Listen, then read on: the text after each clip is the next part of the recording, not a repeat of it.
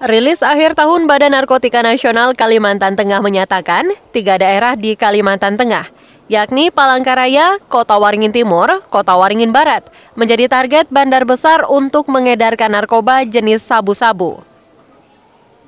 Data dari BNN Provinsi Kalimantan Tengah mencatat setidaknya ada 19.004 warga yang sudah menjadi pecandu narkoba jenis sabu-sabu. Sampai dengan 22 Desember 2020, BNNP setempat sudah menyita 5.716 gram sabu-sabu, 400 ribu butir obat keras, dan 25,88 gram tembakau gorila dari 25 tersangka. Kepala Badan Narkotika Nasional Provinsi Kalimantan Tengah, Brigadir Jenderal Edi Swasono mengatakan, jumlah barang bukti sabu-sabu yang disita di 2020 ini menurun dari 2019 yang lalu, yang mencapai 7.884 gram.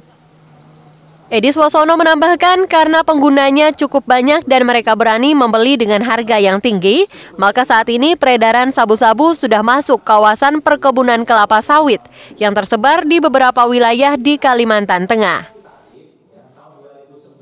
Hanya ada tiga wilayah yang paling tinggi adalah mulai dari Kota Waringin Barat, Kota Waringin Timur, terus kemudian Palangkaraya sendiri. Ini adalah uh, ranking yang terbesar, sangat besar sekali baik masalah penyalahgunaan termasuk peredaran gelapnya. Tahun depan kami juga sudah bekerja sama dengan pihak Kumham ya, nanti kita sudah mem membentuk kayak macam task force ya atau satuan tugas sehingga nanti manakala dalam proses pengungkapan itu ada melibatkan dari oknum-oknum dari lapas atau yang dikendalikan dari lapas ya dalam waktu yang segera kita akan mencoba melepas eh, sekat-sekat uh, birokrasi.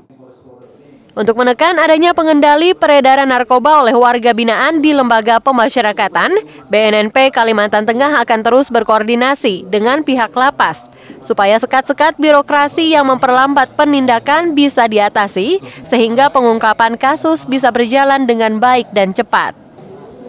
Dari Palangkaraya, Sahrul Mubarok dan Ririn Binti melaporkan.